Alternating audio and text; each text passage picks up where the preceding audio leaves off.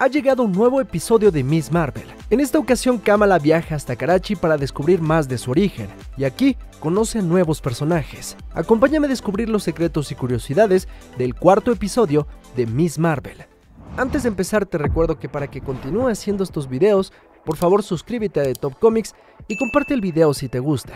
La semana pasada habíamos descubierto que la bisabuela de Kamala pertenecía a otra dimensión. Junto con ella, un grupo llamado The Clandestines, a través de dos brazaletes, habían tratado de regresar a su realidad. Sin embargo, la joven Kamala al poseer uno, se había vuelto el foco de atención de los Clandestines, quienes tratando de robar el brazalete, terminaron aprisionados por Damage Control. En este episodio vemos que Kamala viaja a Karachi. Esta ciudad existe en la realidad, y es la ciudad más poblada de Pakistán. Geográficamente es importante porque es un punto conector entre India y Pakistán. Justamente como menciona la serie, esto es importante porque durante la colonia británica que existía en India, ambas partes estaban conectadas y durante la llamada partición, Pakistán se separaría de la India. Esto es relevante porque India y Pakistán tienen diferencias culturales muy fuertes, con la religión siendo un factor principal para su diferenciación. Esto sería recuperado en la serie, con la abuela de Kamala diciéndole que ella misma aún está tratando de comprender su lugar en el mundo al tener un origen compartido entre India y Pakistán. Esta controversia se extendió más allá de la serie, pues al momento de filmarla hubo un movimiento llamado hashtag FixMissMarvel. En este se reclamaba que varios actores como Zenobia Shroff, que interpreta a la mamá de Kamala, y Jasmine Fletcher, que interpreta a la mejor amiga de Kamala, Nakia, no representaban correctamente a las dos mujeres musulmanas que la serie estaba tratando de representar, ya que supuestamente Zenobia no era una mujer musulmana y Jasmine era una mujer mitad blanca y cristiana. La controversia gira en torno a que muy pocas mujeres musulmanas reciben oportunidades en Hollywood para actuar, ya que por ejemplo Jasmine Fletcher podía fácilmente quitarse y ponerse el hijab o velo de la cabeza sin problemas. Regresando a la serie, la mayor parte del episodio vemos a Kamal en Karachi conociendo parte de la cultura pakistaní.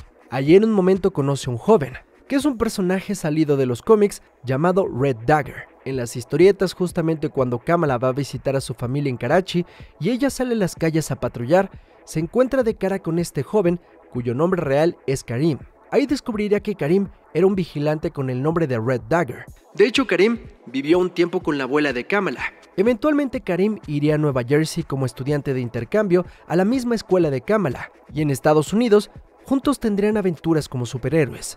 En la serie Kamala se encuentra con Karim después de que la chica estaba buscando la estación de tren, esto debido a la visión del episodio pasado donde vio el tren que llevó a su abuela a escapar de la partición.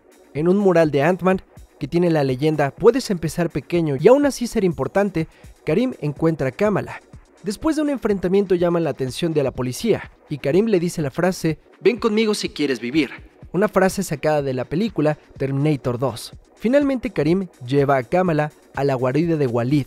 Este es un hombre que le explica a Kamala que la dimensión de Nur convive en otro plano de la realidad y como muchas otras dimensiones conviven juntas. Esto haciendo alusión al multiverso del que ya hemos hablado mucho en otros episodios.